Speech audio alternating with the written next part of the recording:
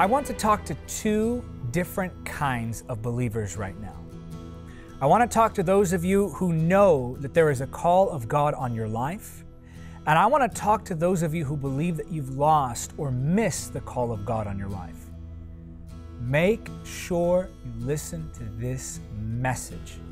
I'm talking about how the Holy Spirit is the protector of the call of God on your life.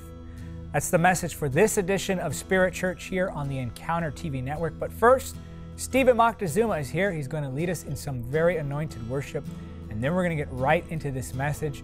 Here is Steven Moctezuma. Breath of God, wind of heaven, as you move, the world began. The universe, all creation found its life through your command. Holy Spirit, I surrender. Breath of God, come breathe within me. Holy Spirit, I surrender. God, come breathe within me.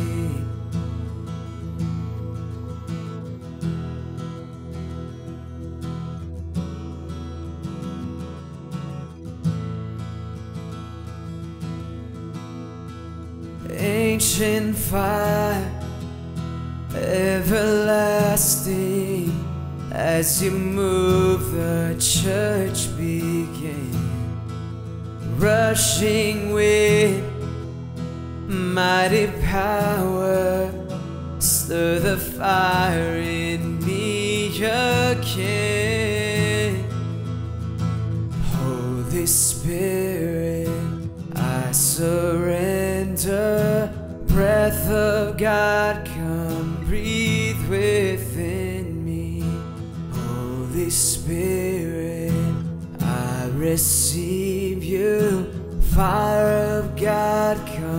burn within me. Holy Spirit,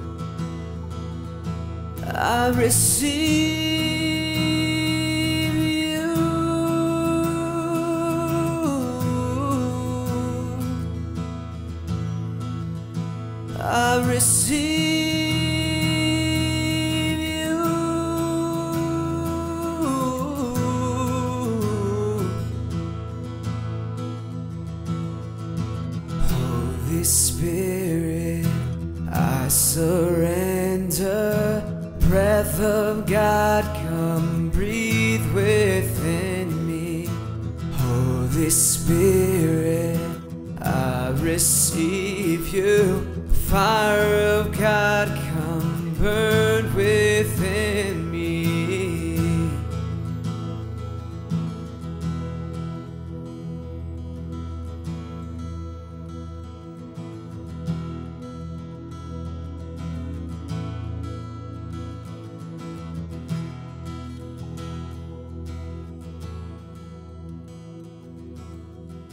Holy Spirit isn't going to fail you. He is going to do everything in His power to make sure that you fulfill the assignment that God has placed upon your life. He's your partner, He's your advocate, He's your help, He's your companion, He's your friend. He is not just with you in the good times, He is not just with you when you're the best version of yourself. The Holy Spirit abides with you even when you mess up. The Holy Spirit abides with you even when you lose strength, especially when you lose strength.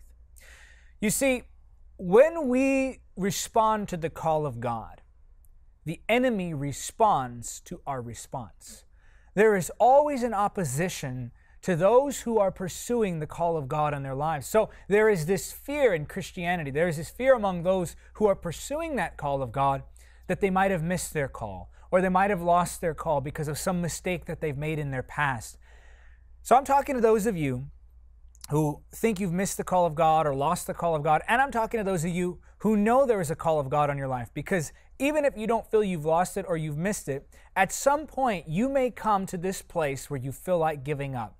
At some point, you may come to the place where you feel like you've been disqualified. So, even if you've never experienced that sense of loss, even if you've never experienced that uncertainty about the call of God, you need to hear this because this will help you to stay rooted. It's important that we as ministers stay focused. We, as those who carry the anointing, stay focused. I'm not just talking to pastors, I'm talking to evangelists, I'm talking to teachers and prophets and apostles, and those with gifts that serve in the church. We need to stay focused and realize that no matter what our task is, whether it's in an official ministry position or whether it's just living for Jesus, when we're anointed and doing something for God, it's possible still that we can go astray. The flesh is so prone to straying off, to leaving its place of purpose. The flesh is so easily distracted, the flesh is so easily lured in to other things. Now, I want to look at the book of Jonah. Because in the book of Jonah, we see that there is a prophet that God has called, and he calls into the city of Nineveh. But instead of going to Nineveh, where he is to preach the gospel, he flees. He gets in a boat and he purposely, intentionally leaves the call of God. Now, not all of us have gone to that extreme where we fought the call of God and tried to go the other way. By the way, I love what Jesus says to Saul before he became Paul in the New Living Translation. He says, he basically tells him, it's pointless for you to resist my will. There's no reason for you to do it. It's not going to work. So, there are these seasons, though, where we may feel distracted, where we may feel distant, or maybe you are someone who's gone on that extreme, where you've purposefully, intentionally, stubbornly resisted the call of God. This is what Jonah did. He was a prophet of God, yet here he is resisting the call of God. So, the scripture says that he is supposed to go to Nineveh. Instead, he goes to Tarshish and he leaves. He abandons ship. He, he so to speak, he leaves uh, his call where he's supposed to be going. And the scripture says in Jonah chapter 1, verse 3 But Jonah got up and went in the opposite direction to get away from the Lord. I thought that was interesting. I thought, why would he want to get away from the Lord? But some Bible scholars say that it's possible that Jonah didn't want to preach to the Ninevites because of the history that they had, or because of the way the people were, how violent and how wicked. Whatever the reason, Jonah's resisting. He's not wanting to pursue the call of God on his life. And so if we go down to verse 4, we find that the Lord prevents Jonah from running, from fleeing. Now, you know Jonah, most of you know Jonah, and you've heard Jonah's name mentioned along with the whale. You hear Jonah and the whale. But to me, I find something else much more interesting than Jonah and the whale. I'm more interested by Jonah and the wind. Look at what the scripture says in verse 4. But the Lord hurled a powerful wind over the sea causing a violent storm that threatened to break the ship apart. I love that because remember, as I discussed in a series that I did called Symbols of the Holy Spirit, one of the symbols for the presence of the Holy Spirit is wind. The Holy Spirit is the breath of God, He's the wind of heaven. He is that corrective force in our lives. So here we see this wind from heaven, from the Lord. It proceeded from the Lord go across the sea and knock Jonah off his course of rebellion. I thought this was amazing because we see an analogy, a symbol, a parallel of the presence of the Holy Spirit in action in our own lives. When we try to go astray, the Holy Spirit moves and destroys our means of rebellion. I love the fact that the wind was threatening to break the ship apart. What does this tell me? It means God will destroy whatever He has to destroy to get your attention. Now, I want you to hear what I'm saying and hear me well. God is too merciful to leave you in comfort that distracts you from His will. God is too merciful to let you carry on with what you prefer. God is too merciful to allow you to pursue your own ambitions and dreams to forsake His will. God was merciful to Jonah. He sent a wind, the Holy Spirit, to correct his course. Now, there are many other things that happen in this portion of Scripture. Those aboard the ship discover that Jonah was the cause of the storm. The Lord reveals that, and they basically, Jonah tells them, just throw me over. They throw him over. We know the story. The whale comes and saves him, and then the whale takes him ashore. It regurgitates him onto the shore. And then in Jonah chapter 3, verses 1 and 2, we see that Jonah gets a second chance. The scripture says, Then the Lord spoke to Jonah a second time Get up and go to the great city of Nineveh and deliver the message I have given you. We see here that God didn't remove the call from Jonah because he ran from it. God chased him to make sure he fulfilled it. The scripture says that the gifts and the call are without repentance. God has not removed your call. God has not removed your gifts. God has not forsaken you. Those who run from God, they fear that God has forsaken them when they are the ones that have forsaken God. If they only knew that if they were just to turn back to Him, He would accept them, He would embrace them. You see, correction is not rejection, it's positioning. When God corrects you, it's not because he hates you, it's because, he loves you.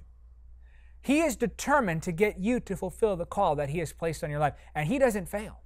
He's I love the fact that it is a strong wind, a powerful wind that came from heaven. This wasn't a weak wind. You see, the will of God is not some weak force. The will of God is sheer power. The will of God is what holds all things that exist in reality. The will of God is what holds it all together. It's the stability, it's the foundation, it's the source for anything and everything that you can imagine. Your breath is sustained by the Spirit. This universe, down to every molecule, is held together by the Spirit. It is the Spirit of God which sustains all, which holds all. And that powerful will of God that powerful force, that unavoidable, irrevocable, unchangeable force, the will of God, is what's over your life. It's not some weak thing, it's not some fragile piece of glass that if we drop it, it's done.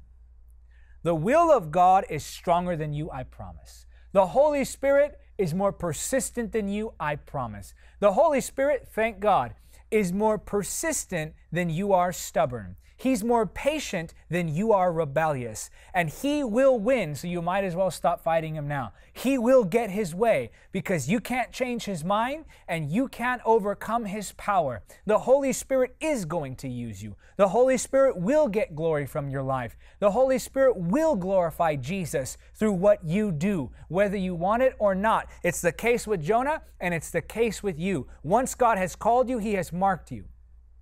Now, it's true that our actions can delay that call. It's true that our actions can cause us to lose time. It's true that our actions can keep us from fulfilling that will of God for the time being. But the truth is that when you are in that place of rebellion, God doesn't just say, okay, I'm done with him.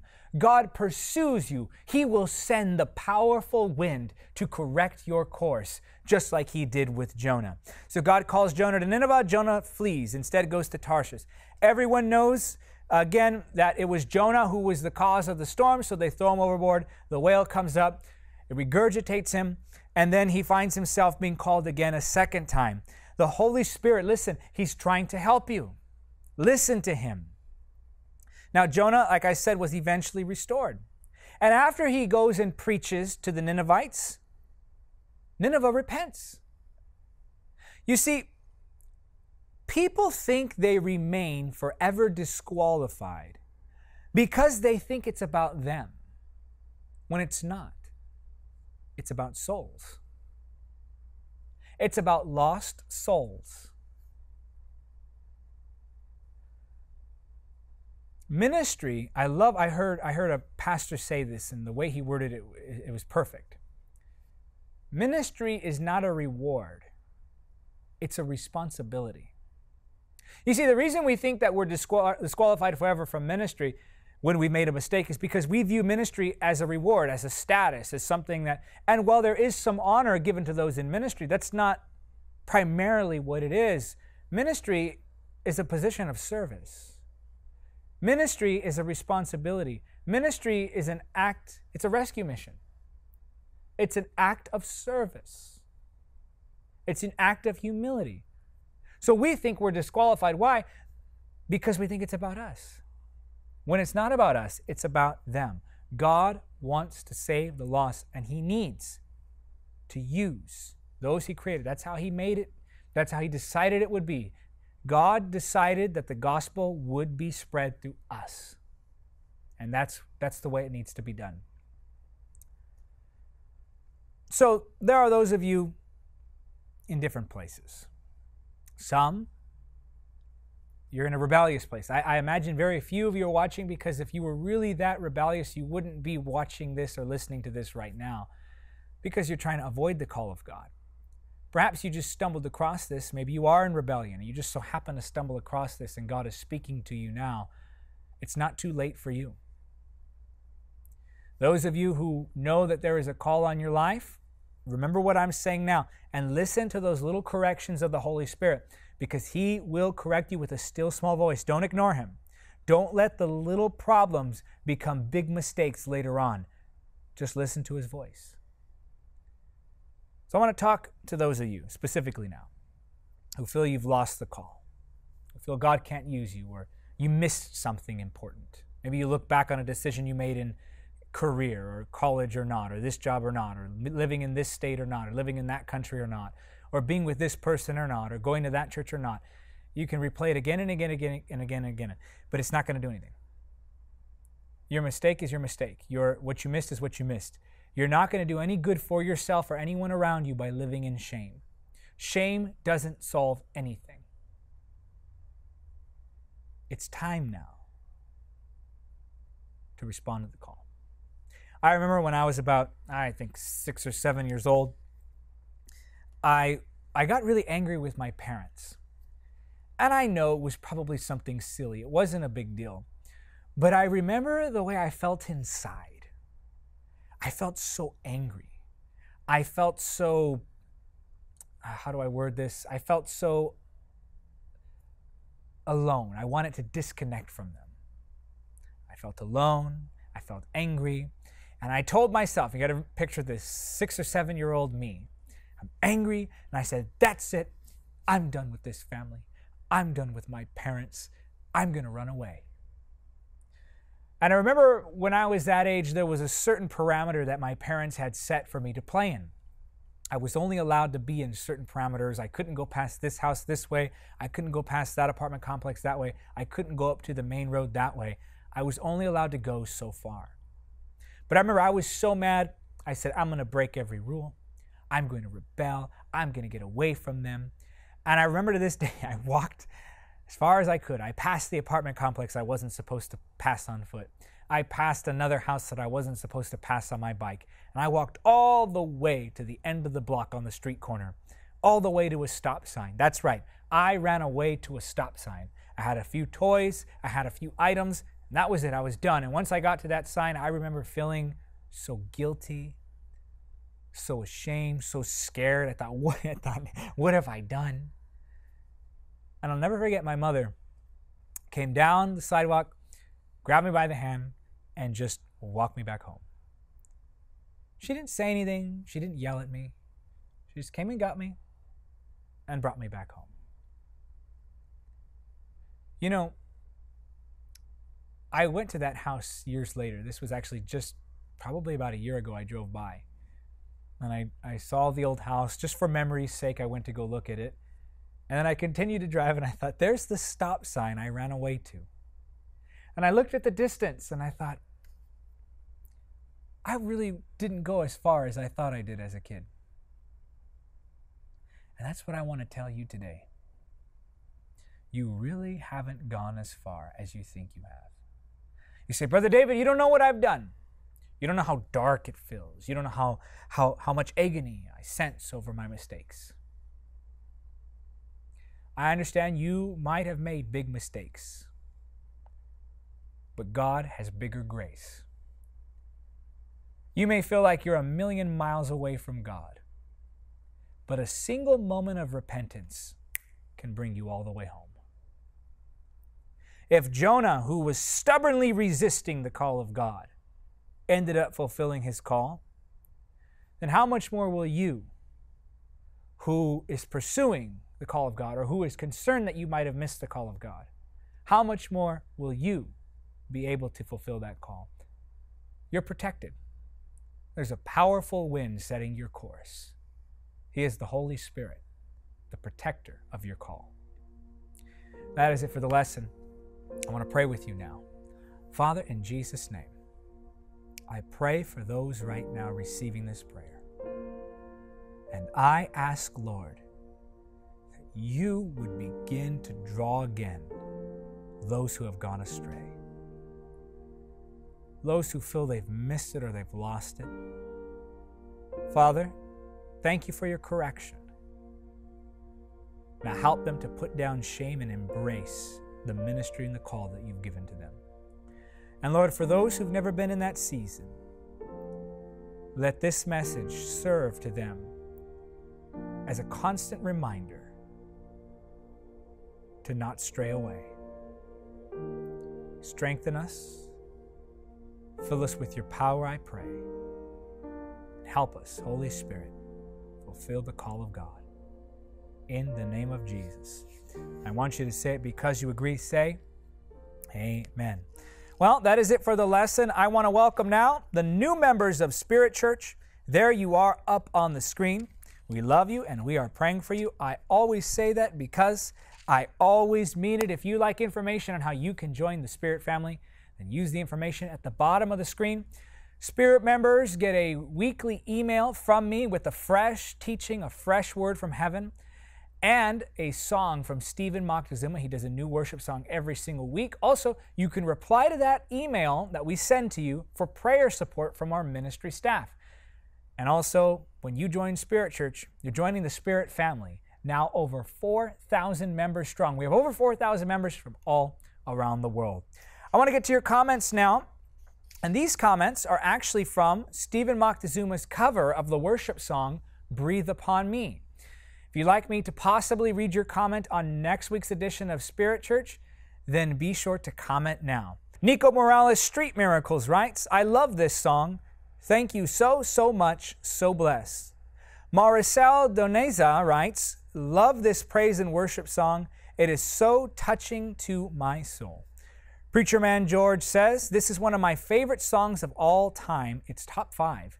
I'm sure that everyone can say they fell over the power of the Holy Spirit just by listening to it. Jocelyn Tabalina writes, Amen. I really miss this song. Thank you so much. God bless you more, and let the anointing of God be with you always. Amen. Well, Jocelyn, you know, Steven Moctezuma is very gifted at doing this. He takes the older songs and makes them sound new again. And then he takes the newer songs and puts his own unique spin on them. So be sure to go and check out, if you haven't already, Steven Moctezuma's worship playlist here on the Encounter TV network has over 100,000 views on it as far as the people who've gone through the playlist. And it's perfect for those of you who are looking for something as the to serve as the background for your prayer time. Steven is anointed. Gabriela Hernandez, the final commenter, writes Amazing worship. May our Father keep blessing you and using you for the glory of His name.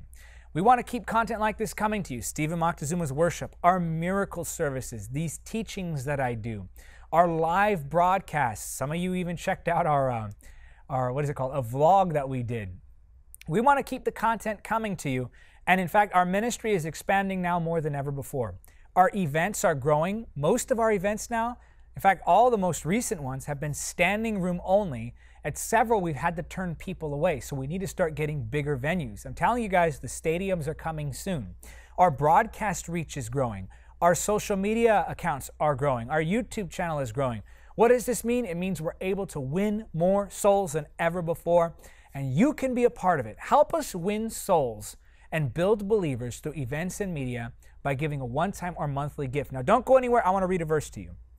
Proverbs chapter 3, verse 27 says, Do not withhold good from those who deserve it when it's in your power to help them. In other words, if you're able to do something good, just do it. Many of us are so concerned with waiting for the right moment that we miss opportunities all the time.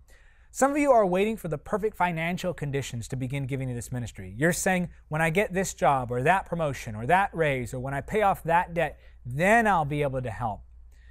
But the scripture says to seize these opportunities when it's in your ability to do it. Some of us, we have these resources. They're there, but we just don't want to do it yet because we're not quite ready, or we think we're not quite ready to take that step. But instead of over spiritualizing all of these different things, what we need to do is, in fact, just give generously to the gospel. We need to be people who say, you know what? Despite my situation, despite my circumstance, I am going to support the gospel. Why? Because I don't want to withhold good when it's in my power to give it. So here's my challenge to you give a one time gift, or become a monthly ministry supporter. For those of you who can give a one time gift, I'm asking you to do do 100, do 50. Some of you can do 1,000, 5,000 or more. We, there are some wealthy people watching. I want to challenge those of you who are wealthy. Use your wealth to support the gospel. Use your wealth to win souls. Some of you could do $100,000 like that. I know it because we've seen very large gifts come into our ministry before, and we've used it to expand the kingdom. So, those of you who are watching, whatever you can do, whatever God puts on your heart, if you want to give a one time gift, give a one time gift. Don't delay, don't withhold it, do it now. Also, if you'd like to become a monthly ministry supporter, our partners help us structure the ministry. Why? Because those monthly gifts help us predict what's coming month to month from our donors so that we can more efficiently carry out the mission that God has given to us. If you want to become a monthly partner, and you'll partner with me on a monthly basis for $30 or more. That's $30 or more a month. I will send you either Carriers of the Glory, 25 Truths About Demons and Spiritual Warfare, or Encountering the Holy Spirit in every book of the Bible. I'll sign it, I'll send it as my initiation gift to you, and thanking you for being my partner.